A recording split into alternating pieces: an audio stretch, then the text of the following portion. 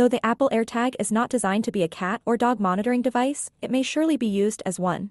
While AirTags are getting popular with pet parents nowadays, Apple does not recommend using AirTags for them. Because it's a popular solution among cat and dog owners, I used AirTag on my cat and dog to see what all the fuss was about. I found the device unsuitable for pet use after testing it. Personally, I don't like it, and neither does my pets, and would not suggest it to fellow pet parents. Check more in my review below. Since AirTags are designed for tracking non-moving items, putting them on a moving object like cats or dogs can be a bit challenging. When I tried using the AirTag on my pet, I did not like how it fit on her. She felt uncomfortable and had a hard time moving. She tried to take it off several times. It could be even worse for smaller pets. I tested the AirTag both indoors and outdoors on my pet.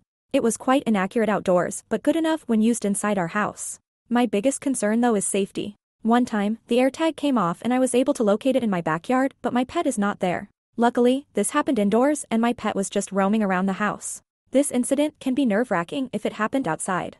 It is still best to use a GPS pet tracking device like Tractive since it is specifically designed to monitor your pet location. Since Apple does not recommend using AirTags as a cat and dog tracker, you will need a third-party solution to properly place the device on your pet. You can attach it to your dog by using an AirTag holder which you can buy on Amazon or any other online store. The holders are nice, but they are quite unreliable. There are plenty of pet tracking devices that can be alternatives for AirTags. Tractive Pet GPS Tracker is my number one recommendation when it comes to pet trackers. They have two different models that are specifically designed for tracking dogs or cats so you are sure that it is safe for your pet to use. Check the link in the description.